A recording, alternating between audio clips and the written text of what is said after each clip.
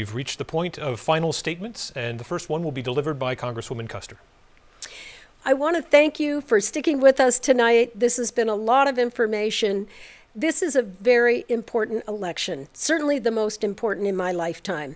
I can tell you all about the things I've done for New Hampshire, the federal funds that I've brought from towns across the district Bristol, Claremont, Keene, Swanzey, Hudson, Franklin, the list goes on and on.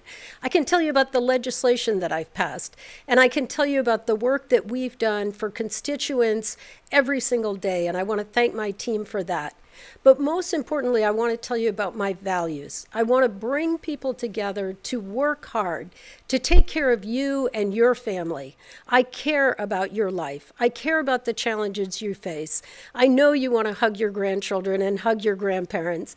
We all want this to end. And I am working hard to make sure that we follow the science, that we have a vaccine that you can rely on, you can feel safe about, and we can all get back to our lives before COVID and build back better. Mr. Negron, a minute for a closing statement. Thank you, Adam, and Congresswoman Kuster. Thank you again. Thank you. Um, Thank you, Steve.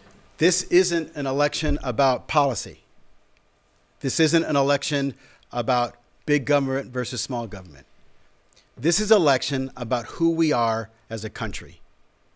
And it is clear to you and to me what we've seen across this country for the last year. We see this pandemonium in the streets of Seattle and Portland and Kenosha. And it's there because of the inability of the Democrat Party to work with this current administration. You've heard that Congresswoman has worked across the aisle. You know, she's part of the group that's actually been there, wanted to, to impeach this president even before the inauguration. We need to get back, but there's a time for a change. It's about building our future. We need a new start. We need a new vision. And I ask for your vote on November 3rd, and I ask for your prayers. Thank you, and God bless.